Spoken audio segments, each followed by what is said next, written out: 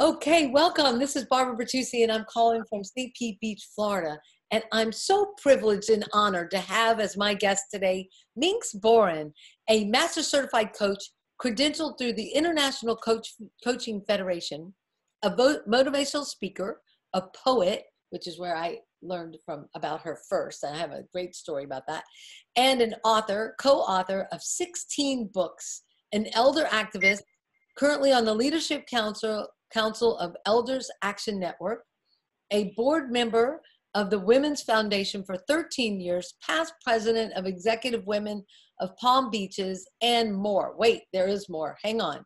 In her roots, Minx taught cooking for Natural Gourmet in New York, New York City, um, starting more than 40 years ago, practicing as a nutritionalist there, and now as a health wise coach offering a broad range of services. And she even taught at the university down in the West Palm area. And just so glad to have Minx Boren on here today. Uh, Minx, so I just am so grateful, and I've been reading your book, um, and I'm just gonna share that, and then we're gonna go back into her book is titled "Decades of Gratitude, Gusto, Grit, and Grace." And what I love about this is that she writes about the view from the 72nd floor. Okay, now she said it's the 75th floor. but right. I tell you, her energy and her vitality will blow you away. Sometimes she runs circles around all of us, as you could hear of all the things that she's doing. So, um, we know that Nikken's all about health and wellness, and you've been my dearest friend and luckily uh, Temple's great friend for many years. So through osmosis and that, and through all the things you've examined, tried, um, and played with, you've been using Nikken for many years yourself. You want to go ahead and share? Oh my God, where do I begin? So I think I started using the back magnets um, that that thing that you put on your back when you're driving somewhere or when you're achy. And because I exercise a lot, I think that that's where I started. I started with the magnets. And I don't even know how much, many years ago, because when you saw my magnet and we upgraded, you said this was like one of the antiques. It was like the original from back, way back when. Um, there are so many Nikken products that I use. So let me do it this way. Let me start this way when Any I way you want to go, Minx, it's awesome. We're so okay. glad to have you on. Um, so when I talk about health and wellness and having the energy, because to to really continue to live a full life for as long as possible, and I am 75 now, and I'm still working full time and exercising two hours a day. For me, there are four pillars of of health and well-being and that I'm very careful to keep my life. And what I want to say before I start is sometimes when I do this, people really get overwhelmed. Please don't. Start where you are. I started because I was really sick and because I had a really sick child and I needed to do something. And it's like one tiny step at a time. And 50 years later, it's a lot of steps. So just keep that in mind so that you don't, the reaction is sometimes, oh my God, she just does so much, I can't do that. Well, you don't know that. You start somewhere. So if I were to look at Nikken, the first pillar is getting enough sleep, really good quality sleep. It makes all the difference. And so Nikken, let's see, what do I, I use the sleep system. I use that, what's the blue blanket? Whatever that's called, the one that's that the, I wrapped around travel, my husband. Travel comforter. and now we have it as okay. a okay, so I use that. Not only do I use that, but my husband just had surgery like two months ago. So he came home from the hospital. The first thing I did was wrap him in it. And then I put him on the grounding mat um, to lie on, just to begin the healing process. And then if you think about, oh, then there's the air filter, which is, is like right next to my bed at night. Um, and we have them in in all the various places where we spend a lot of time. So there's that, which of course helps with the quality of sleep. And then what's that blue thing? You see, I don't know the names of them. I just tell no, Barbara I'm out of the, the blue awesome. thing that spins. Oh, What's the, the, blue the thing Mag that spins Duo. that I put in my bed? The Mag Duo. Oh no, no, she's talking about the Kenko Touch. Is the new version of that, and um, she Okay. has it plugged in in her bed, and she spins it uh, before um, or a couple of times a night. Ours now turns on. Well, I use it before we go to sleep. And it, it just runs all night. Um, I don't know. So, and my dog loves it. I, and so would kind of like like to sleep near it. So there's that going on. Um, You've got the let's- water. So I You've got the water. Oh, well, so let- let's Um, go to exercise next. So, in exercise, once again, that back magnet, I was a marathon runner for years, and I still do, I do two hours of exercise every day. So, I either spin or I walk. I don't run anymore. Um, and then I do some kind of weight, uh, weight training, yoga, all of that stuff. And so, I, the back magnet, if my it's pesky or tight, I use that. And then, what are the the things that massage my feet inside my shoes. So when I'm walking, Your insoles, the foot magnets, Yeah. yeah, uh-huh. the insole. um, so I use those when I'm walking, especially if I'm walking long distances, because I go out with a weighted vest on and I walk for an hour to an hour and a half a day, and that's Mm. one of the ways I deal with keeping up my bone density as I get older. So that's kind of in the area of exercise, pillar two, and then um, so there's food, so there's the whole water system that's in my kitchen. And that not only do I use it for me, but when I get fresh vegetables, I I grow them in my frid- fridge is the best way to put it. So I lop off the very bottom so that they can absorb the water, and then I stick them in the Pi water, and then I put some kind of something over them to create like a terrarium, and all my herbs and all my celery and broccoli sit that way in the fridge. My So husband just going to open it up, underline that. there's a because forest. that. That's really brilliant. And I have, I've been doing my um, lettuce that way a long time, but I haven't done all my herbs and my cilantro. But she takes the bottom door rack and puts jars in there and puts a little bit of water in the bottom and cuts off the bottom of the vegetable or the the greens and puts them in there and puts a bag Right, so it has a fresh bottom. draped over and they're hydrating up they're doing an amazing hydration so um yeah so that's awesome minx and she also started growing her own herbs as well it's amazing That's right. yeah And not only that, I actually I, I compost, so I have what are called red wiggler red red wiggler worms, and I feed them Pi water. I mean, I spray them with with the the water from the filter um, every day because they have to be kept hydrated. They're they're like ninety percent water. Um, so there's the water, and then there's the shake. So the chocolate one, the vanilla Well, kids one. in, uh, Kenzen Vital Balance yep Okay, see, there's uh, names I don't remember. I just we know it. nicknamed it KV. the morning shake.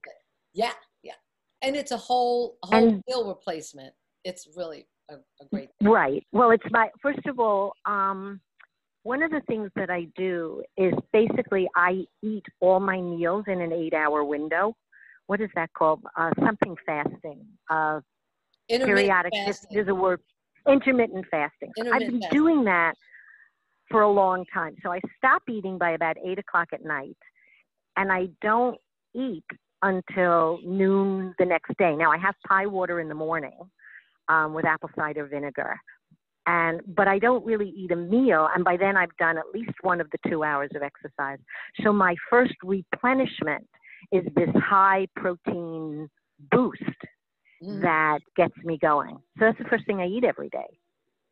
At And noon. then you eat that at noon that's your first meal at noon or at one, it depends. So I Okay. fast for somewhere between, depends on what time, if we went out to dinner or not, um, somewhere between 15 and 17 hours between my last meal at night and my first actual meal. Yeah. Now I have celery juice, which is basically 90% water. That I have at about 10 o'clock in the morning, and that's been growing in Pi water before I have it. It's And- amazing how much it hydrates um, and and Yeah. up, and then you're getting it, it's kind of cleansing it, detoxing it as well. You know, it, it's uh, fortifying it a little bit, and so um, we. Um, I, I just love that because you get more juice, right? We've been Mhm. juicing as well. So, Minx, you've been an inspiration to me. And I remember uh, Temple sharing when she first met you, the main thing was she opened up the fridge and was like, oh my gosh, what is all this stuff? Like, no clue of what you're eating. But you've gotten uh, in, and we have, you know, just really taken on some beautiful things to help us get uh, the colors of the rainbow in our diet, to eat um, a little bit different. We're vegetarians. You're not. I've actually started eating a, little bit of fish here and there and a little bit of meat, just a little bit of red meat every so often. Um, I find I need it, and I think you did too. Yeah, so let me talk a little bit about that because I've kind of done it every way you can do it over all the years. When I taught for Natural Gourmet, I was pure vegan. I actually stayed pure vegan probably for a dozen years. And it was a time of cleaning out. My son had asthma. He was never a vegan, but, and I don't want to go into that whole story. It's, we could spend the whole time on that. But in the course of healing him, I learned a tremendous amount. And then what happened is, as a marathon runner, I literally couldn't keep my weight on. And I went to someone named Dr. D'Adamo, who wrote the book um, Eat Right for Your Blood Type. And as a type O, I need animal protein. So I personally do better. Even if I balance perfectly vegan, it doesn't work for me. That doesn't mean it doesn't work for other people. And the other thing I want to say about any food program is there's no one food program that works for everyone, and there's no one food program that works for anyone all the time. What I needed as a 25 year old doing what I was doing and running marathons is not what I need as a 75 year old. So it's paying attention, really listening to my body all the time. Which brings up something else. The fourth pillar, which we hadn't touched on, is nurturing your spirit, your spirituality, whatever you want to call it, having a um, a practice where you actually listen to yourself, tune in, listen in. I've been a journal keeper for a lifetime, which is how decades got written, as did all my other books get written. Uh, so I always take time during the day to reflect, to be quiet, to meditate first thing in the morning. So I go outside and I walk barefoot. I stand barefoot on the ground. So I'm doing what's called grounding for about 15 minutes and I meditate standing up and then I do some Tai Chi and that's like the first thing. And then I do that funny, so, what's the song you and I do, Oh, Barbara? a Every cell in my body is happy. Every little Yeah. cell in my body. It's to Aunt Jemima, guys. Every little cell in my body Uh-huh. is happy. Every little cell in my body is well. I'm so glad. I'm so glad. glad, Every little so cell in my body is Little well. cell my body as well. happy, So I do that. well, vibrant. You fill it in with all the words, and I do mine in the shower. She does hers grounding. Okay. mine in the shower. So great, awesome. So I want to say something else about grounding because then I come inside and I use the Nikken, the whatever it's called, the what I call the grounding mat, Yeah, that's and it. it's under my desk. I plug it in. I sit barefoot when I'm working at my computer, and my feet are on the grounding mat because I can't be outside enough hours a day given that I still work full time.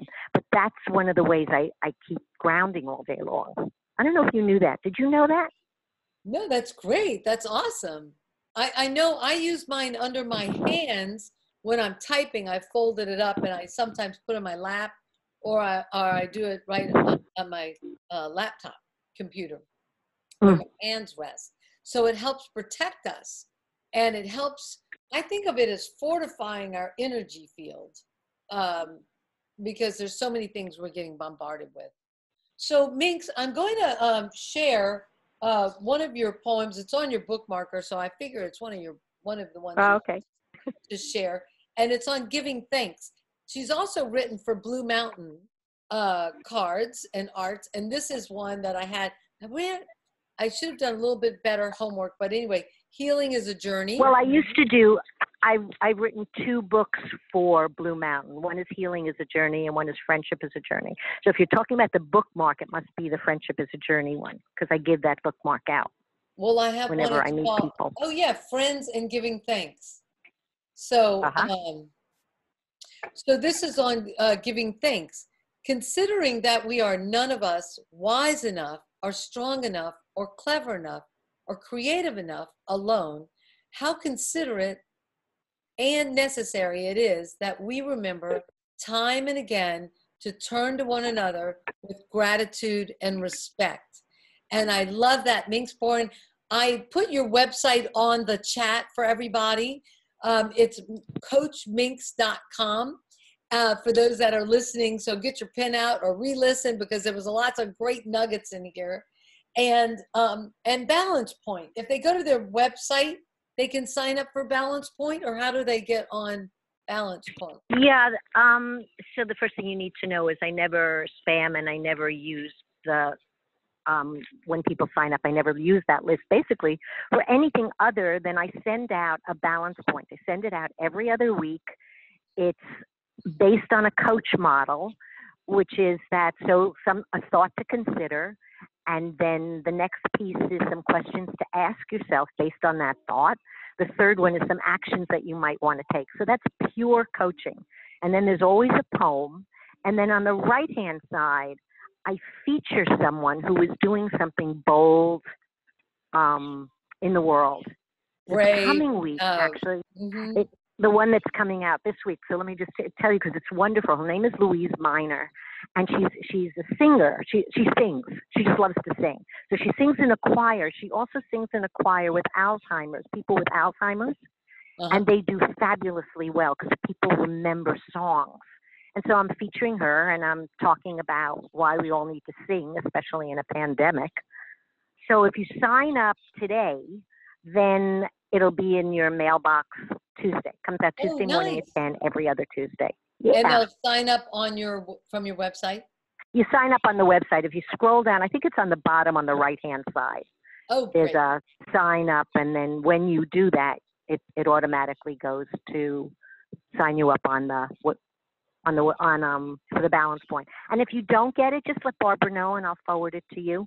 So I have a, a do that. really fun story that I'm going to share. Oh, okay. And Minx has And I still have time, so I'm good.